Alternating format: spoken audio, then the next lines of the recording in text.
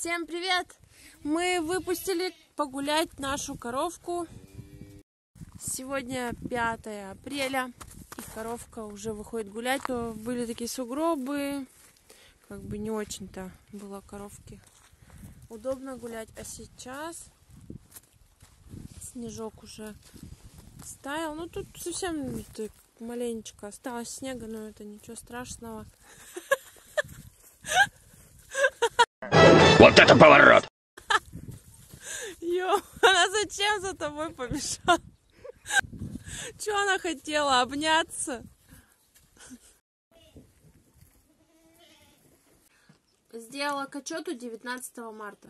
Сегодня 13 апреля, вот попробовали, она настоялась.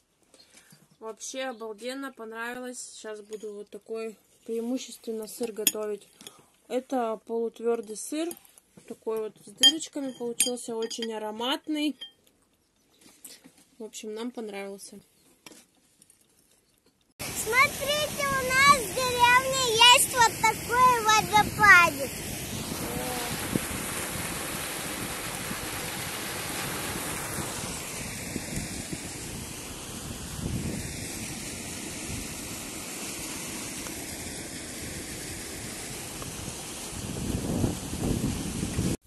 Позади нас разливается ручей, и поэтому мы перекатываем сено. Вот Ближе от... к сараю. А вот отсюда, вот точно возле дороги, вот этот ручей разливается. Что-то как-то мы это думаем лучше поближе к сараю откатить, а то мало ли. Там горочка. Ну, а там горочка. Повыше. Сегодня у нас 15 апреля уже. А, вот у нас такая грязюка в ограде, и было принято решение Илюхой вот сделать типа вот такой вот брусчатки, или как называется, где-то подглядели в интернете. Вот такие вот нарезаются штучки из бревен. Такие вот слайсы, или как их назвать, и вот так вот укладываются. Кстати, они ништяк, когда вот грязно, их укладываешь, они, они потом застывают так вот, и в общем, у нас отдельный загон для быка, для коз, но э, бычку нужно побегать, и поэтому мы его выпускаем. Там получается, э, ну, такой вот в общий, получается, загон. И он тут бегает. А я здесь даю козу, и получается, его нужно загнать. Э, я как бы с ним справлялась, но теперь я что-то с ним уже не справляюсь. И, в общем, надо, чтобы его Илюха загонял. Так что иди давай загоняй своего быка. Я, я его загонять не пойду. Он такой стал уже достаточно крупный, и он прыгает. Я, в общем, не пойду. Вот он туда его закроет сейчас. Мы его покормим. Да, он уже кушать хочет. Все еще кушает молочко. Вот и козы уже ждут, чтобы я их подоила. Вот, а он мне не дает этого сделать.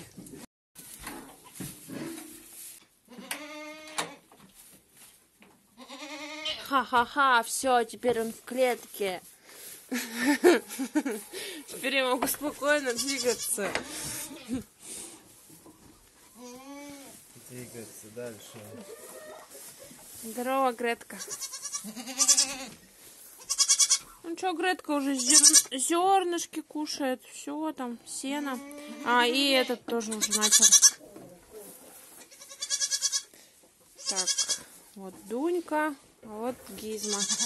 А, в общем, что показала? Показал опыт, что Дунька дает больше молока, Гизма дает мало молока, так что посмотрим, что будет дальше.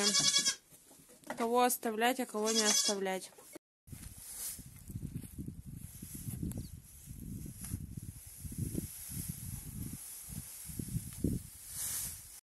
Ну вот и начался период линьки. Что козы, что коровы, все линяют. Ну, кроме молодых козочек, конечно. А, кстати, Булат не линяет, да? Нет, есть маленько. Маленько, да, молодой бык линяет, но в основном, которые уже взрослые, они уже вот, у нее линька такая вот. Перед дойкой нужно обязательно ее почистить. Потом мокрой тряпочкой протереть. Да, это все пригладить, чтобы ничего не летело. Ой-ой-ой. Ну, я надеюсь, скоро линька пройдет.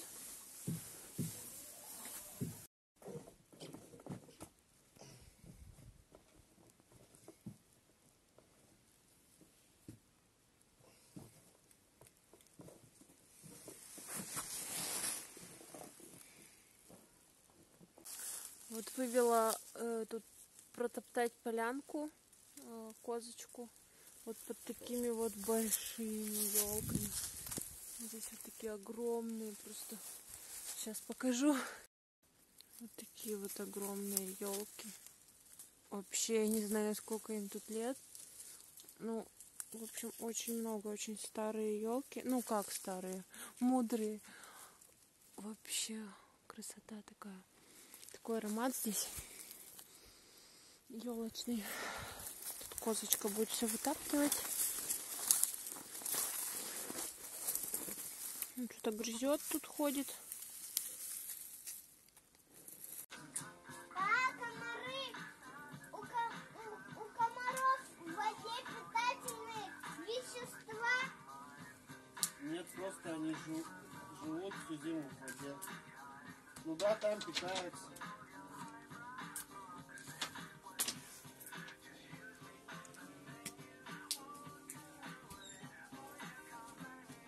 Питательные вещества.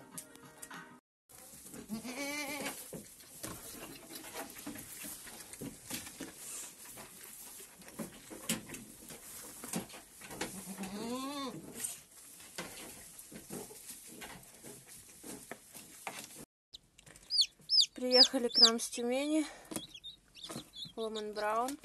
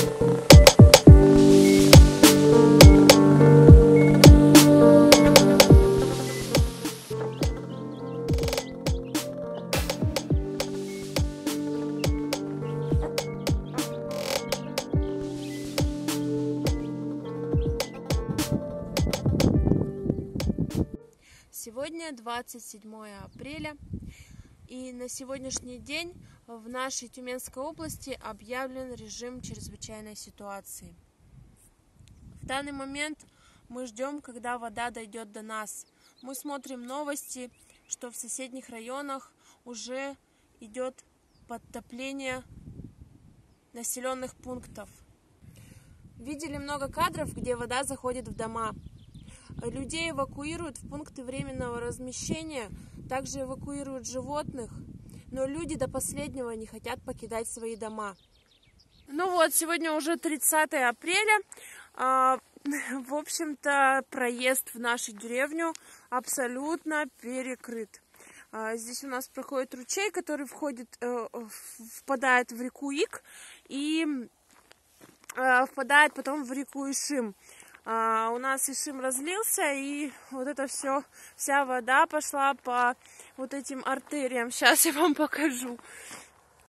Та-дам! Вот так вот э, разлилось. Вот здесь вот вообще суша была.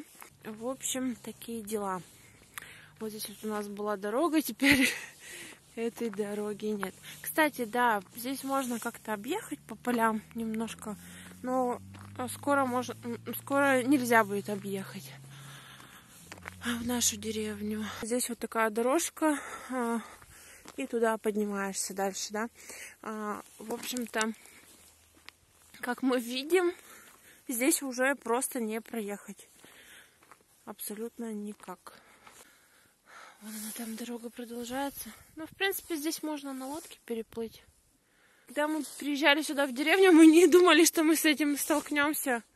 Мы здесь уже сколько? Мы сколько тут уже три года живем, да? Сколько мы тут уже? Три года живем? Вот мы три года здесь живем, ни разу... Ну, короче, почти три года. Мы с таким ни разу не сталкивались, но люди говорят, что такое было в 2017 году. Было что-то подобное, наверное. Ну, посмотрим. Но мы когда сюда переезжали, мы не думали, что такое будет, да? Ну почему я знал, что тут затапливают? Ты знал? Да. И ты переезжал? Да. Это очень весело, конечно. Что, давай переплывем на ту сторону. Я в галошах, я не поплыву. Ну а чё, вода по плечо.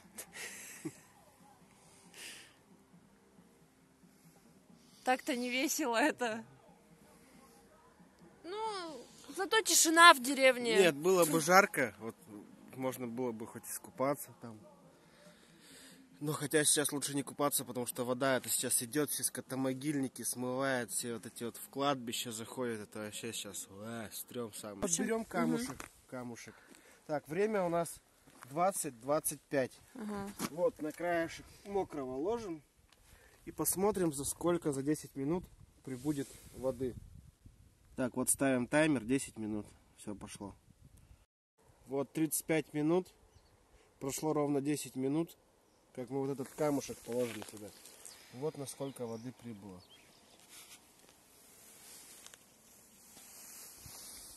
Так-то вообще махом прибывает.